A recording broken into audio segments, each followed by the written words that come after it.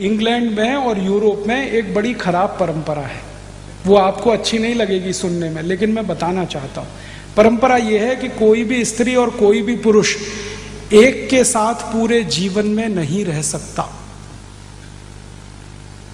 अभी शादी की, दो दिन बाद तलाक होगा, फिर शादी होगी, फिर तलाक होगा, फिर शादी होगी, फिर तलाक होगा। एक स्त्री, एक पुरुष ज़िंदगी भर एक के साथ रह नहीं सकते। बार बार एक दूसरे को बदलते हैं। जैसे हम कपड़े बदलते हैं, शर्ट बदलते हैं, वो एक दूसरे पार्टनर को बदलते हैं। और एक्स्ट्रा मैरिटल अफेयर्स उनके यहाँ कॉमन है।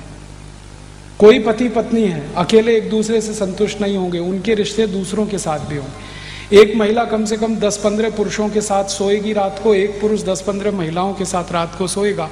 ये हज़ारों साल पुरानी उनकी परंपरा अब इसमें होता क्या है? पत्नी तो एक ही है और पति तो एक ही है।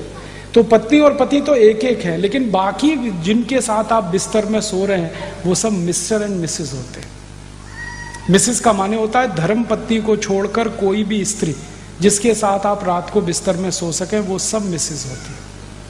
और यहाँ अच्छी खासी धर्म पत्नी को हम मिसिस बनाने में लगे हुए हैं। Oh she is my Mrs तब मैं पूछता हूँ really she is your Mrs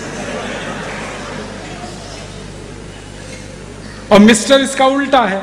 पति को छोड़कर कोई भी पुरुष जिसके साथ बिस्तर में सोए, वो मिस्टर है। तो यहाँ का पति मिस्टर नहीं है और यहाँ की पत्नी मिसेज नहीं है। और हमारे पास कितना सुंदर शब्द है पत्नी के लिए। श्रीमती। श्री माने लक्ष्मी, मति माने बुद्धि।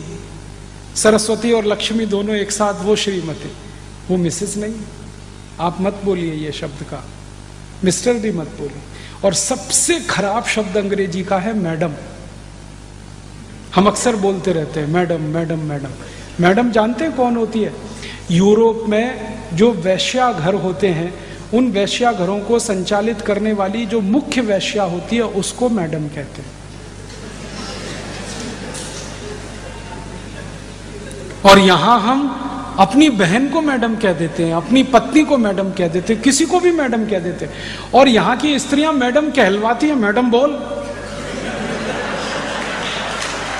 इतना दिमाग खराब है।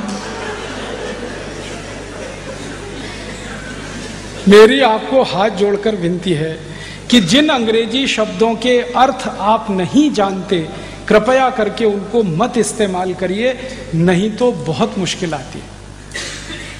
क्यों फालतू में?